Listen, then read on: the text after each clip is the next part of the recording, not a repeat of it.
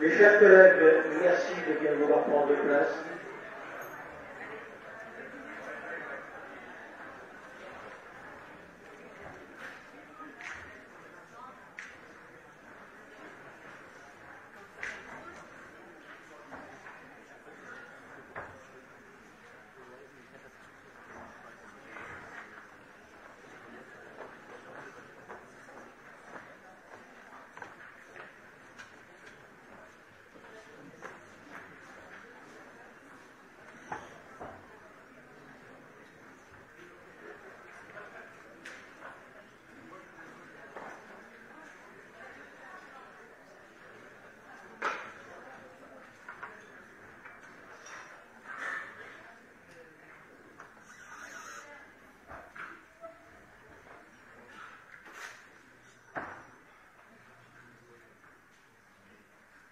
Bien, bonjour à tous, euh, mes chers collègues.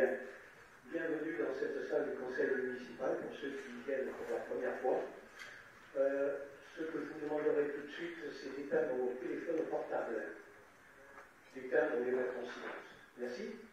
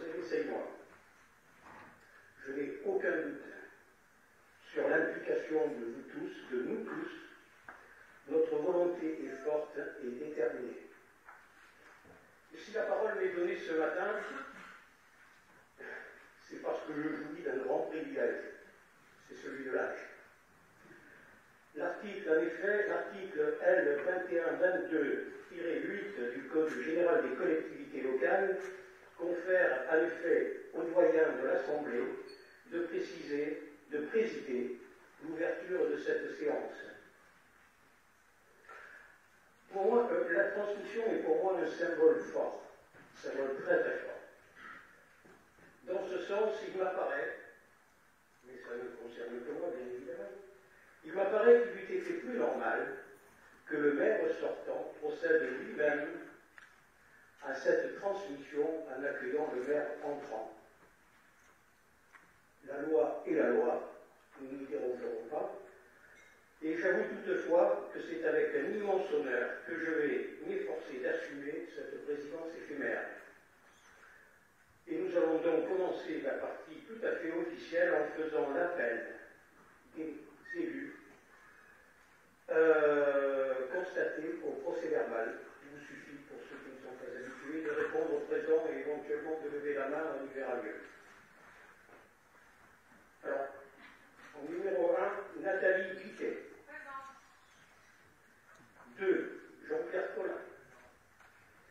Christine Cinquin. Guillaume Capobianco. Corinne Chenet. Gérard Beccaria. Christelle Lachaud. Damien Gutiérrez. Malika Batat. Cheikh Mansour. Marie-Claude Paganelli, Argelès. Initi Joseph, je suis là. Véronique Leportois. Christophe Plurière. Christelle Vincent. Pascal Tassisto. Sophie Montbardon. Dominique Badira. Elisabeth Guess. Cardi Ali. Présent. Lydie de Rouen. Christian Duplat. Catherine Penard. Daniel Martinez. Présent. Fatia Peter. Présente. Alain Boyer. Présent. Katia Morand. Présente. André Castillo. Présent. Narges Ouerdi. Yves Dimeglio. Présent. Valérie. D'accord. Dominique Lexa. Nathalie Soriano. Didier Rollo. Présent. Valérie Dutienne. Sébastien Joya. Présent. Marc Villemot.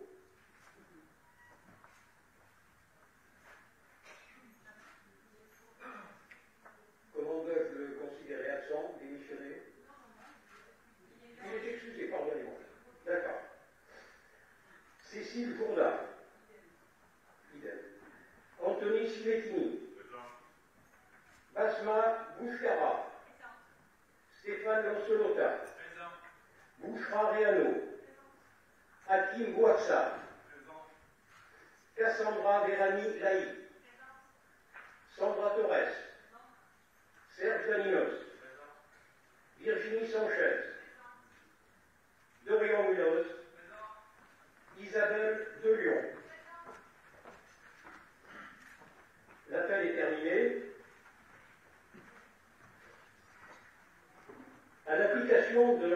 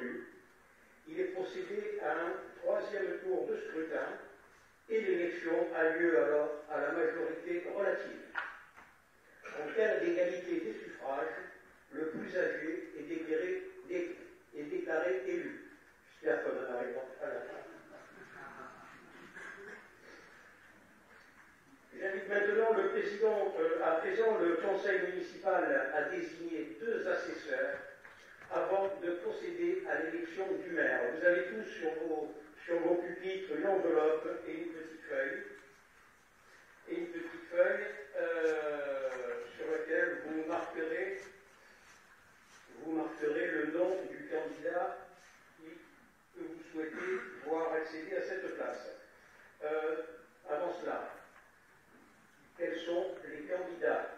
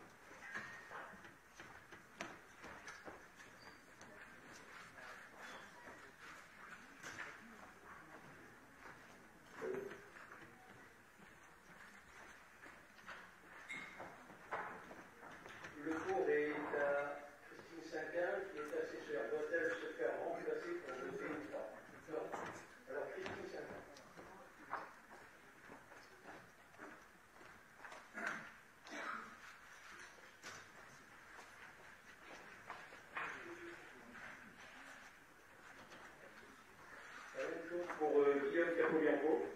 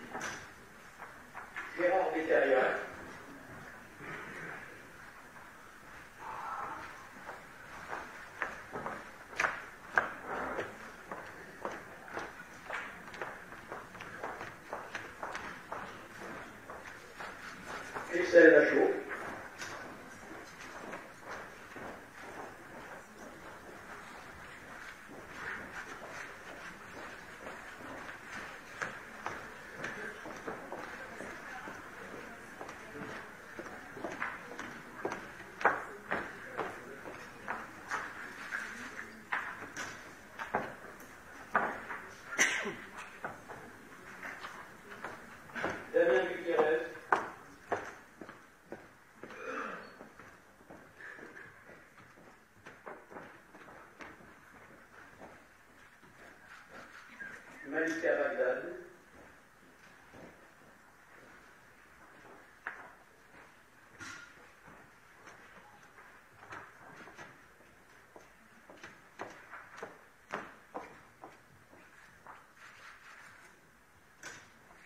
Chaque morceau.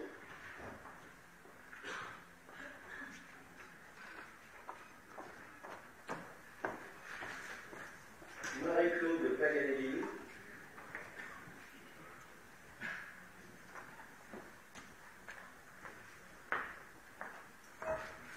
Mm.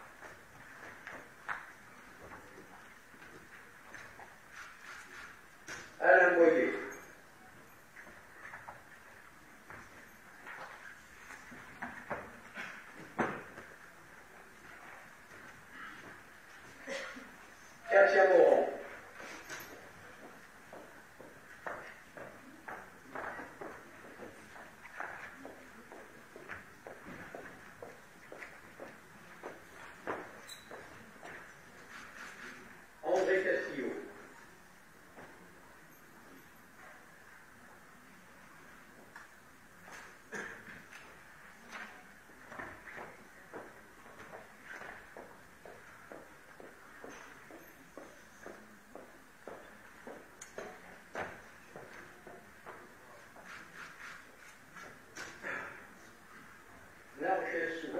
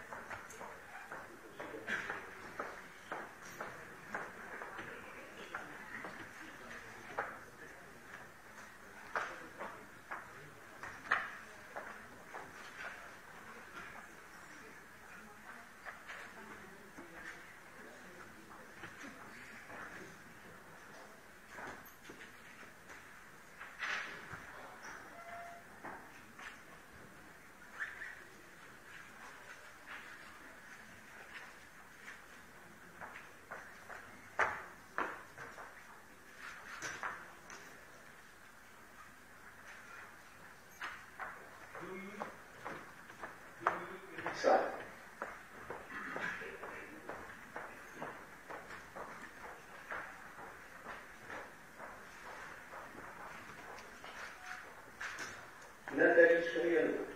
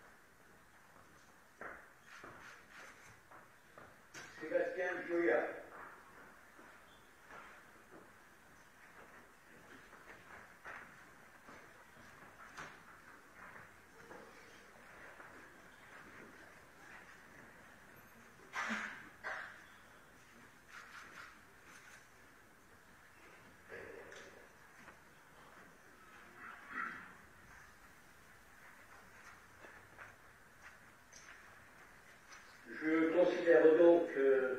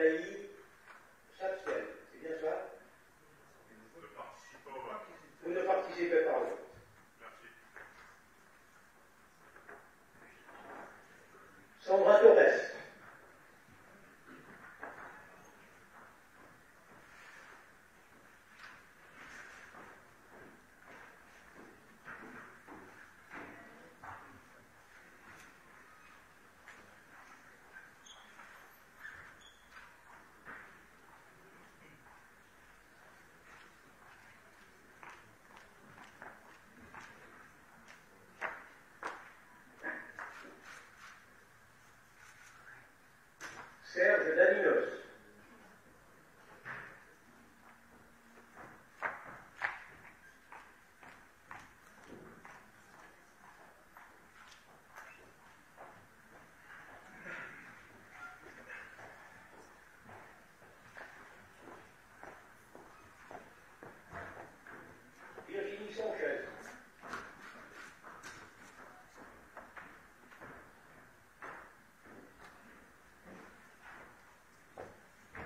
ಹೇಳುವುದು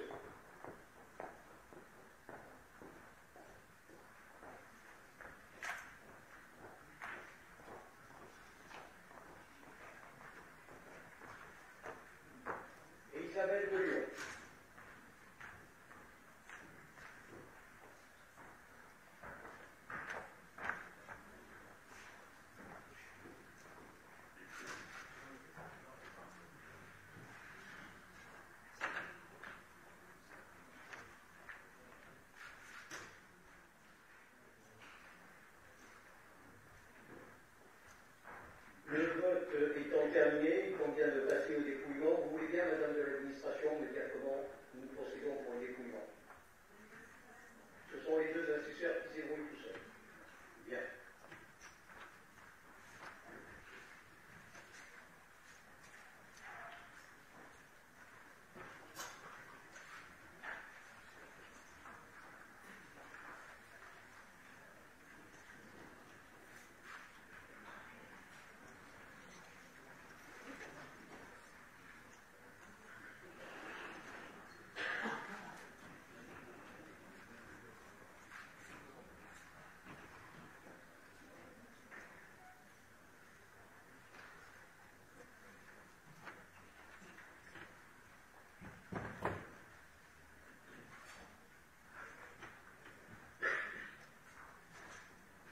Thank you.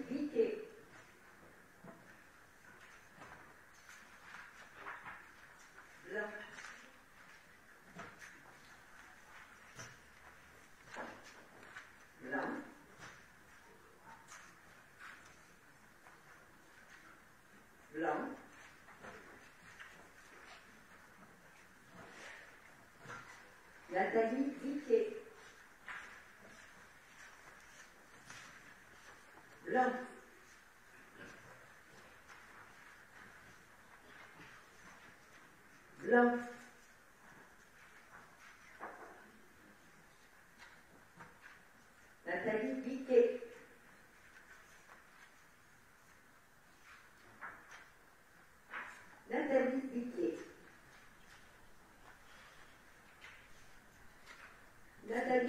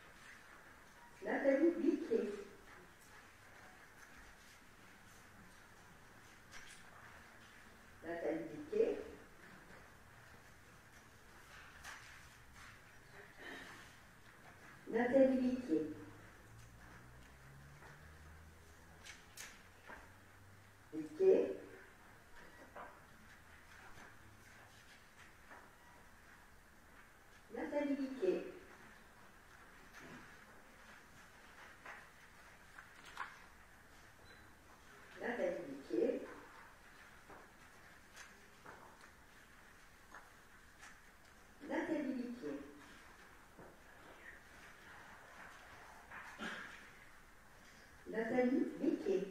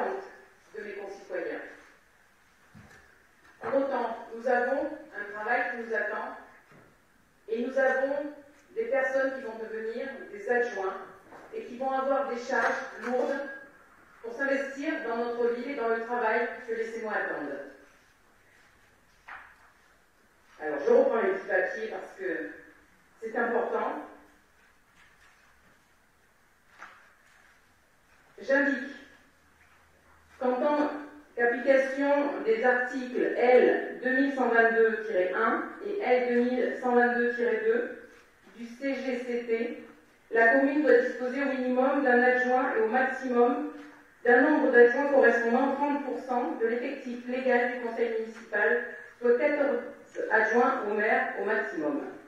Cependant, je rappelle qu'en application du CGCT, article L143-1, il va falloir vous y faire parce que c'est très fréquent hein, les, les références comme ça, et des délibérations antérieures, la commune disposait à ce jour de 14 adjoints et 4 adjoints de quartier. Au vu de ces éléments, il est proposé au conseil municipal de fixer à 18 le nombre d'adjoints au maire et adjoints de quartier. Le maire propose aux conseillers municipaux de voter électroniquement la délibération fixant le nombre d'adjoints et d'adjoints de quartier. Donc, euh, c'est un, grand moment, c'est l'administration qui dit quand le vote est ouvert. Vous avez devant vous une petite euh, tablette. Euh, donc, vous voyez oui, non, et blanc, c'est pour ceux qui s'abstiennent. Donc, cette proposition de fixer le nombre à 18, ben, vous devez voter.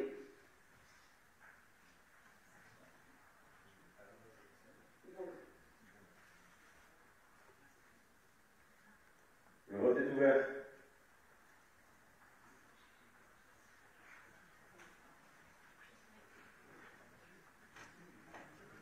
Donc, ceux qui veulent voter pour, vous appuyez sur oui.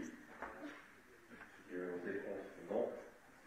Ceux qui s'abstiennent, c'est blanc ou abstention selon le clavier.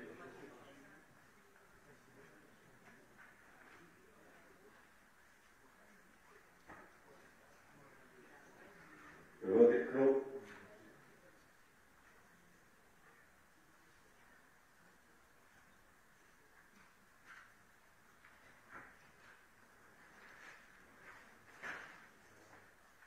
Alors, les résultats. Alors, pour 47, contre 0, abstention 2. Donc, le vote est entériné, nous aurons 18 adjoints. Avant de procéder à l'élection des adjoints, je vous rappelle que les adjoints sont élus au scrutin secret de liste à la majorité absolue, sans panachage ni vote préférentiel parmi les membres du conseil municipal. Il est rappelé que conformément à l'article L 2122-7-2, désormais chaque liste doit être composée alternativement d'un candidat de chaque sexe. Il est précisé que les adjoints prendront rang dans l'ordre de la liste proposée. Le conseil municipal décide de donner un délai pour le dépôt auprès du maire des listes de candidats aux fonctions d'adjoint. Donc nous avons déjà notre liste que je vais vous présenter. Est-ce qu'il y a d'autres listes? Il faut un délai de 15 minutes pour que les opérations se fassent, je vous propose d'enchaîner euh, par le vote. Donc, je vais vous présenter la liste composée par notre majorité.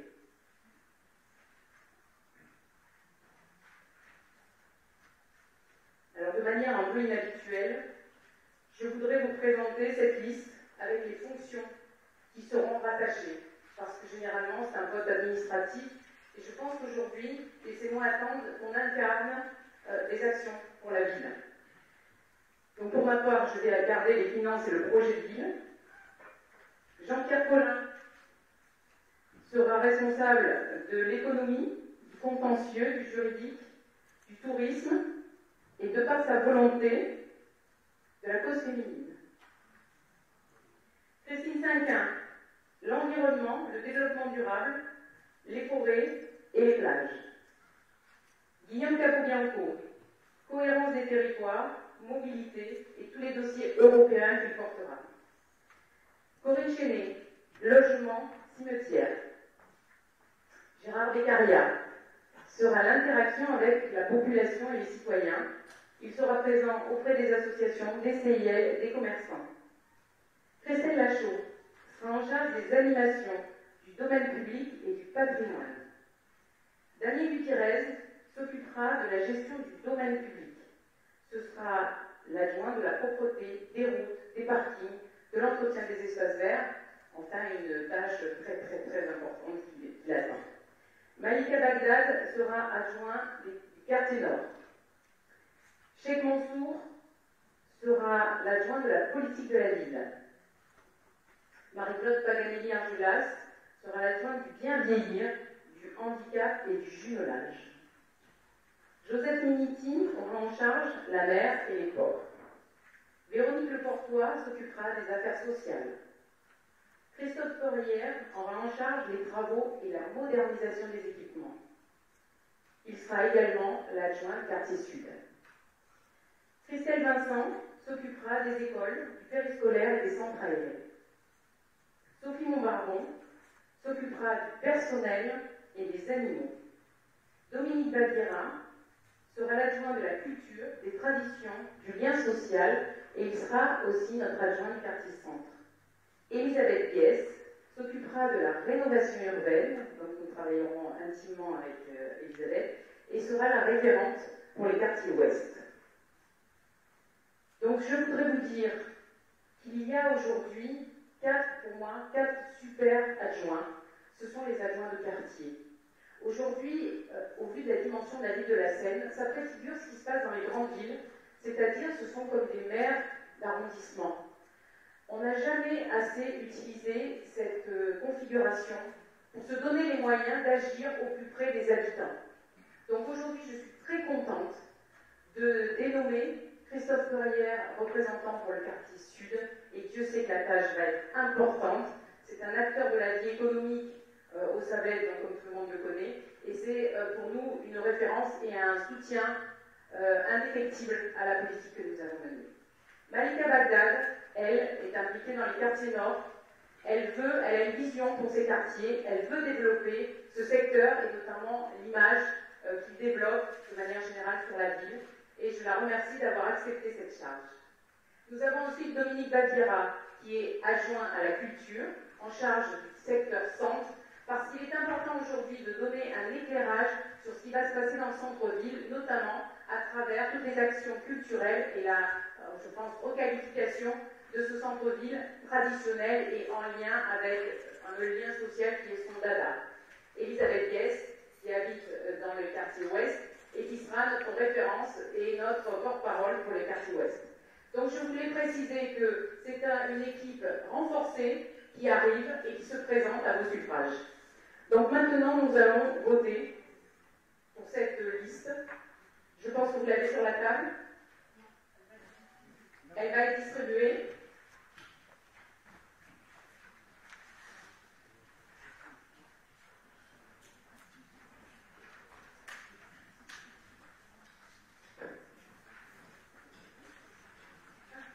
Alors, il est possible que dans la, dans la liste, j'ai oublié de nommer euh, Pascal Tassisso, qui est quand même notre adjoint à la sécurité. Ça aurait été quand même dommage de ne pas le citer. Donc, euh, voilà, il s'occupera, euh, il aura aussi en charge les incivilités, parce que je crois qu'aujourd'hui, on a bien identifié qu'il y avait le problème de la sécurité, et puis le sentiment d'insécurité qui est beaucoup lié aux incivilités. Donc, ça, ça c'est pas sa charge. Et bien sûr, le lien avec l'armée, puisque c'est un peu son profil personnel.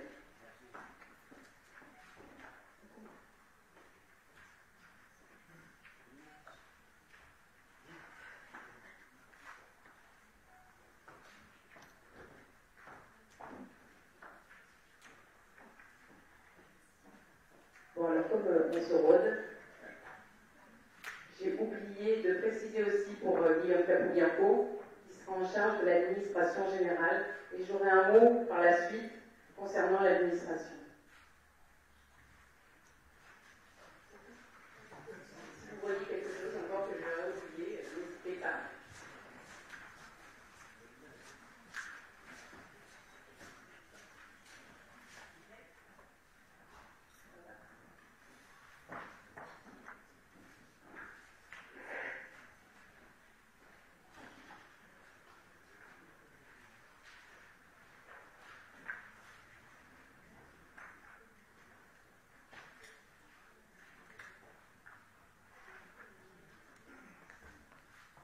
Demande aux assesseurs de reprendre leur place, puisque on va voter de nouveau. Alors oui, maintenant que je suis maire, je peux prendre une première décision qui peut-être semblera populaire, c'est que si vous voulez enlever la veste, vous pouvez enlever la veste, parce qu'il y a un problème de climatisation, et je sais qu'il fait très chaud, donc voilà, je vois Guillaume qui est euh, extrêmement bien habillé, mais voilà, vous savez que vous pouvez vous mettre à l'aise quand même.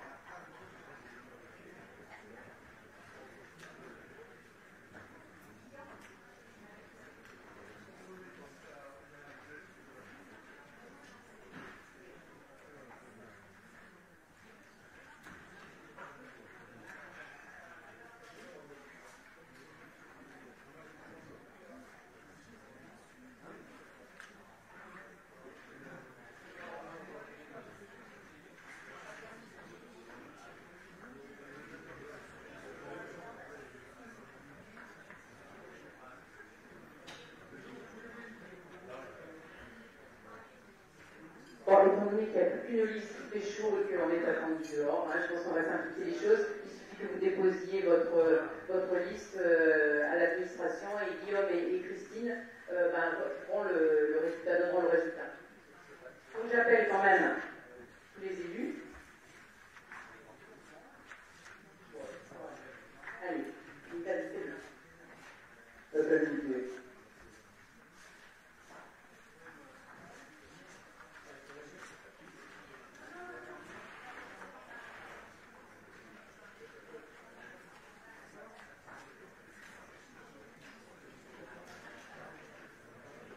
Jean-Pierre Collin.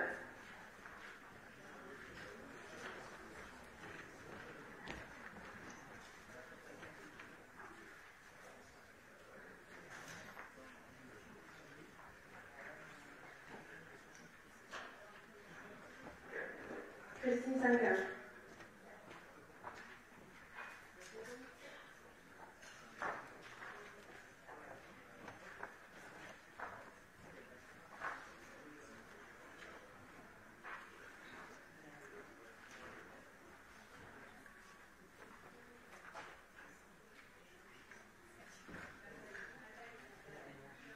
Sanquin. Guillaume Capobianco. Pardon. Corinne Chenet.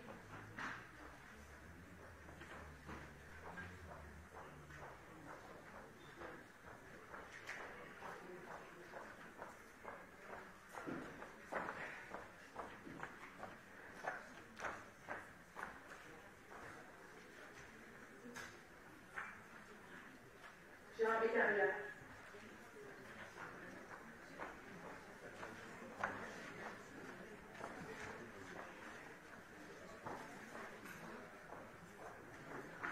Beccaria. Christelle Lachaud. Damien Gutiérrez. Malika Bagdad.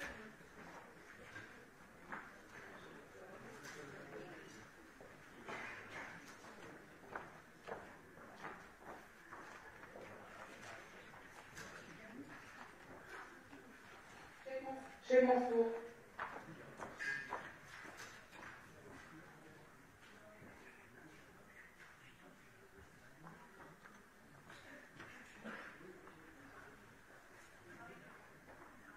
Madame Angela Argelas. Allié. Johnny Miniti.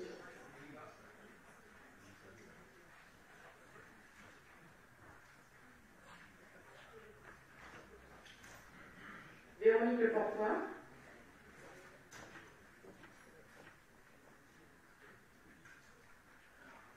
Christophe Courrière.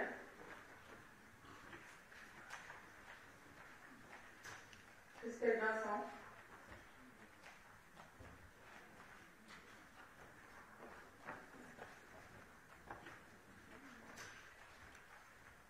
Tassisto.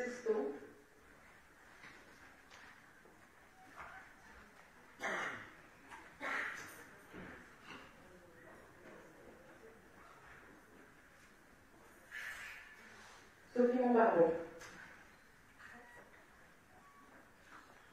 Dominique Valera.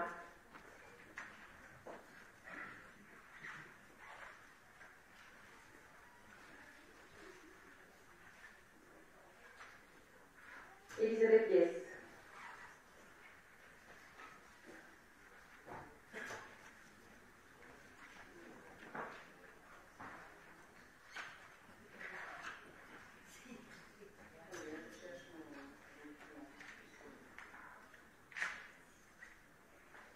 Ali Gardi.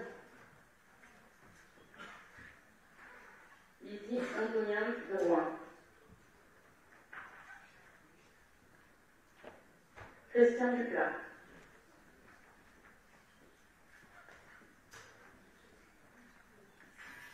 Catherine Bernard.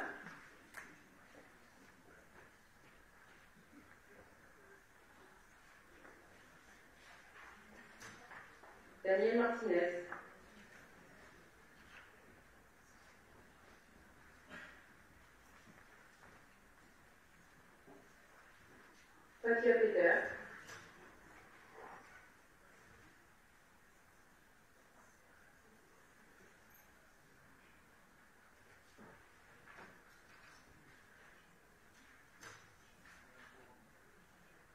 才来不及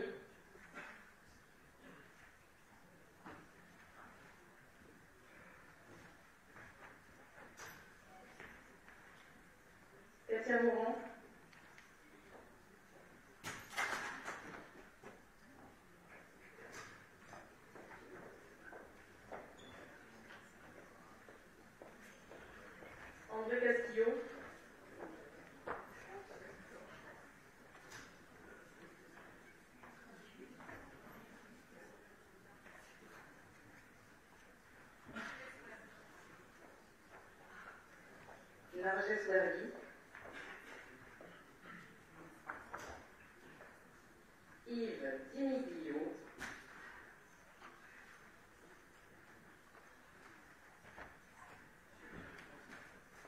Valérie Cadouri. Donc c'est correctionné qui vote pour elle.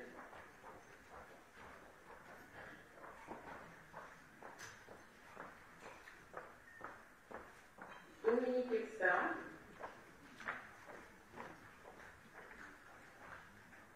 Nathalie Soriano.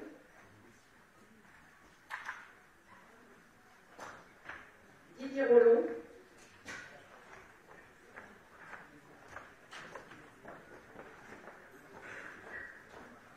Valérie Titienne.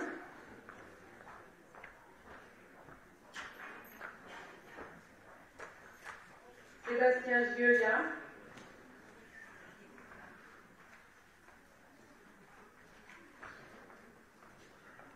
Marc Villemot. Excusez de procuration. Nous adoptons la même procédure que pour le vote. euh, D'accord, vous ne participez pas au vote. D'accord. Sandra Torres. D'accord. Minos. Oui, voilà, bien. Ça va être rapide. Euh, donc pendant que vous proclamez euh, les résultats, euh, je, je vous donne une information que nous devons avoir un conseil municipal le 10 juillet parce que les élections sénatoriales étant à, l'automne, nous devons élire les grands électeurs. Donc c'est un conseil qui sera assez rapide. Il est prévu à, 8 à 9h juin. 9h, hein, donc euh, bah, vous êtes conviés à ce que vous allez recevoir les convocations pas aujourd'hui par euh, distribution euh, directe parce que en fait euh, pendant le mois de juillet nous allons avoir quatre conseils municipaux euh, qui sont liés bien sûr à la crise que nous venons de connaître avec euh, 80 délibérations euh, qui sont en attente et bien sûr le vote du budget. Donc euh, d'ici le 25 nous allons avoir euh, trois autres conseils. Donc nous allons être amenés à nous rôder et à nous voir assez souvent.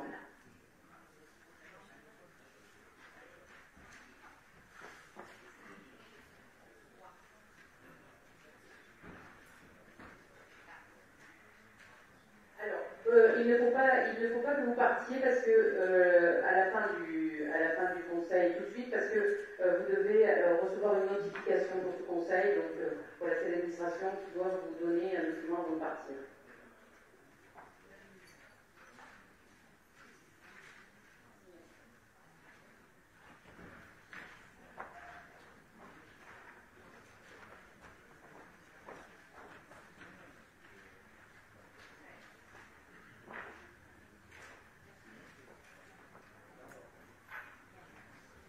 Je voudrais aussi préciser une chose, c'est que là nous votons pour les adjoints, euh, mais dans l'Assemblée, il y a aussi des conseillers municipaux qui auront des délégations.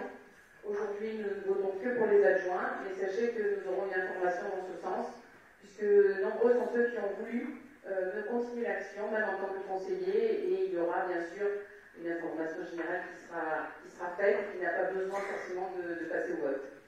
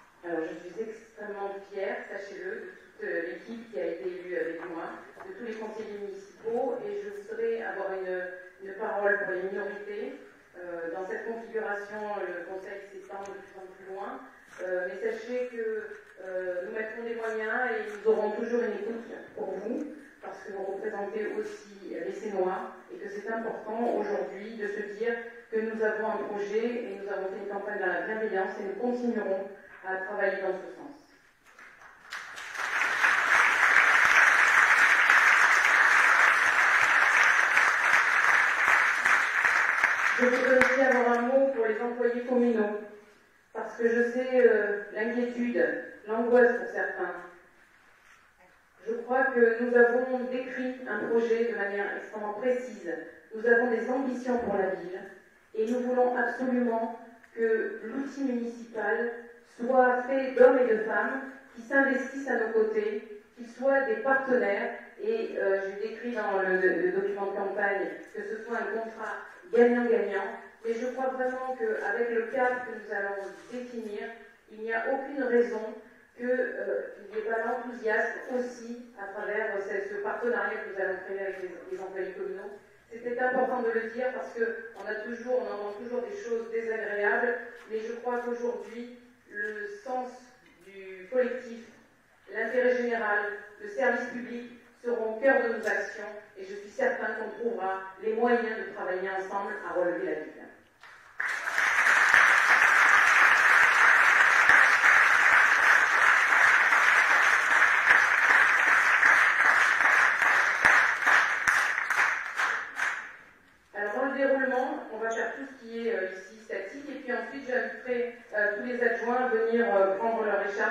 Et nous chanterons la Marseillaise parce que c'est un, symbole fort pour nous.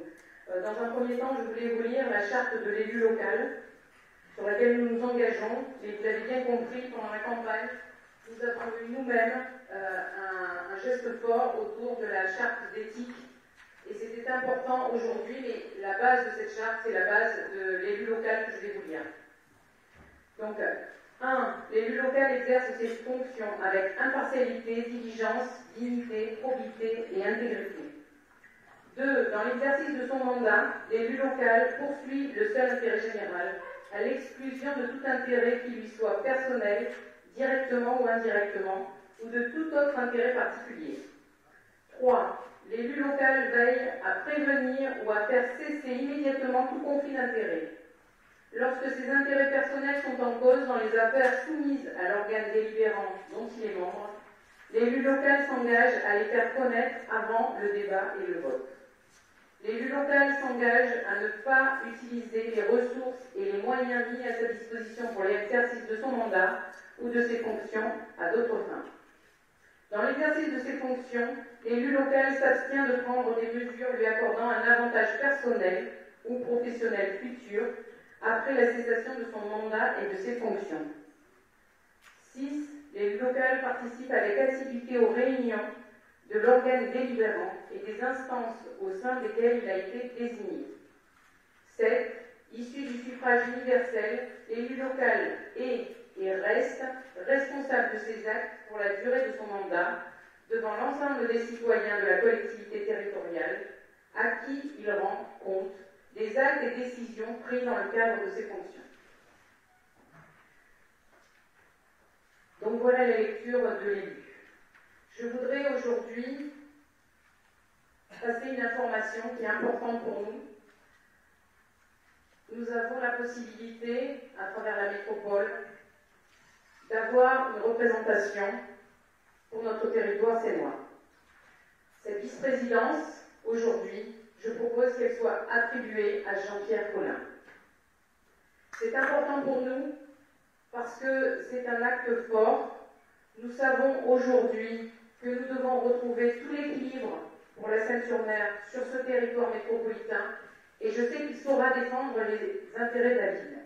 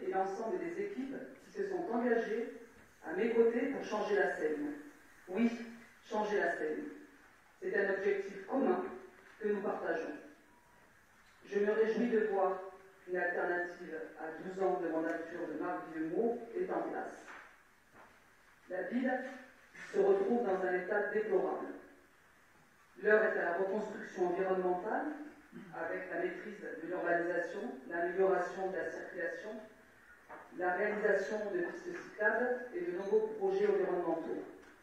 L'heure est aussi à la reconstruction économique, sociale et culturelle de la Seine.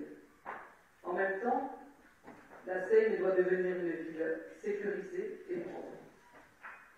De nombreux projets structurants sont aussi attendus par tous les témoins. Corniche de Tamaris, réhabilitation du centre-ville, le parking des Espajoles ou encore les ateliers mécaniques.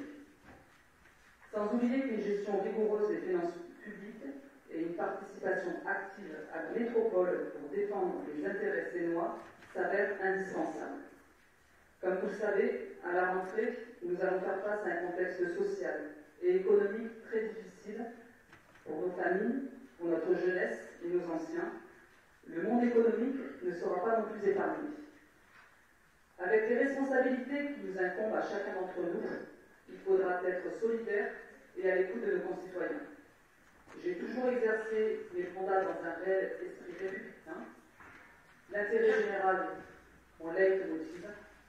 Je compte le même état d'esprit. C'est l'essence de mon engagement politique pour une droite constructive et républicaine la Seine a besoin de nous tous, et je prendrai une part active à la reconstruction de notre ville. La Seine doit changer, la Seine le mérite. Je vous remercie. Merci Madame Torres. La parole est à Virginie Sanchez.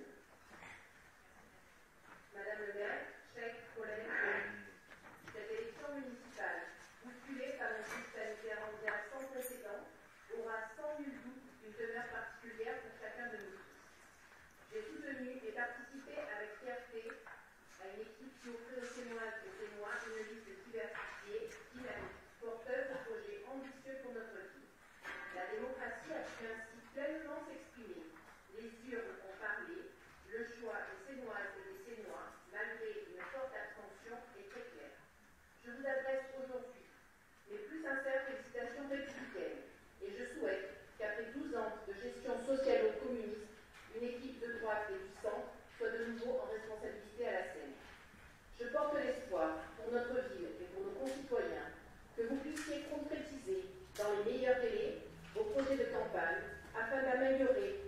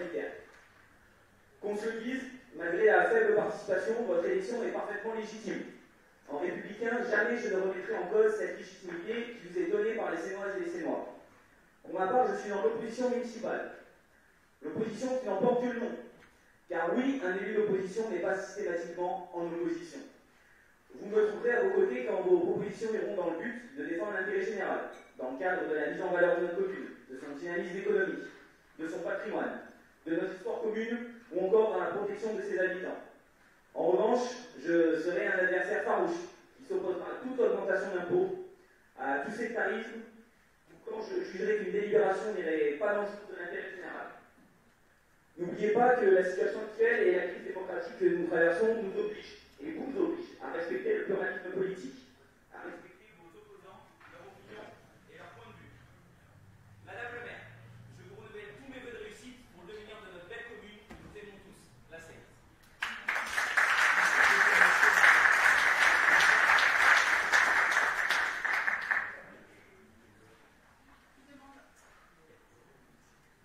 Est-ce qu'il y a une demande, une autre demande d'intervention Bon, écoutez, je vous remercie vraiment euh, de la tenue de J'espère que tous les conseils auront la même tenue. Étant euh, maintenant à la tête de cette ville et de cette, euh, mairie, je, je, serai garant du respect des uns et des autres. C'est important. Et maintenant, j'appelle tous les adjoints à venir retirer leur écharpe.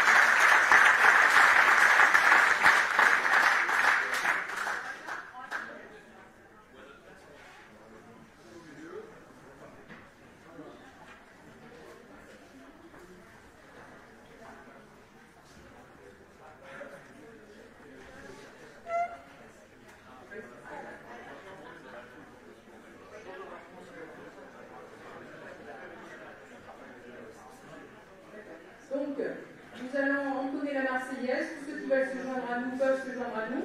Et pour les, les assesseurs et le premier président, euh, bah, ils vont signer le PV. C'est tout. Et on se retrouve ensuite dehors. Hein